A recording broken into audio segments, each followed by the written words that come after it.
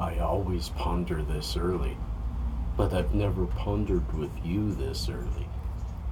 Peace all. I'm talking quiet. It's only 6:15 in the morning. It's a beautiful morning. It's cooled down to about 16 degrees.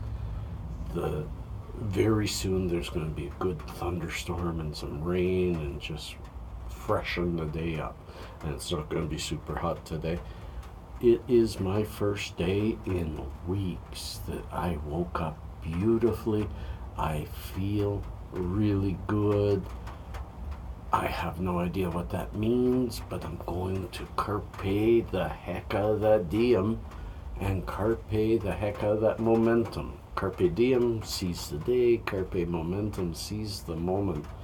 So I'm pondering what does your week have in store for you?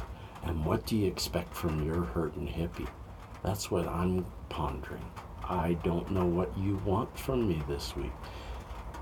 Yes, I'm working on my CBD, my educational piece, but until then, um, until then, do you want more ponderings? Do you want some walks? Do you want me to be down by the river? Do you want me to talk about something specific? It's up to all of you. As I've said before, I may make these videos, but you're the driver.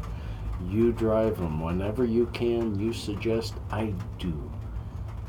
I feel good today, and I just wanted to share that all with you. So it's a short pondering, an early pondering, but a happy Monday pondering. Very unusual for me. Peace and cheers. Love and harmony. Have a great start to the week, my friends.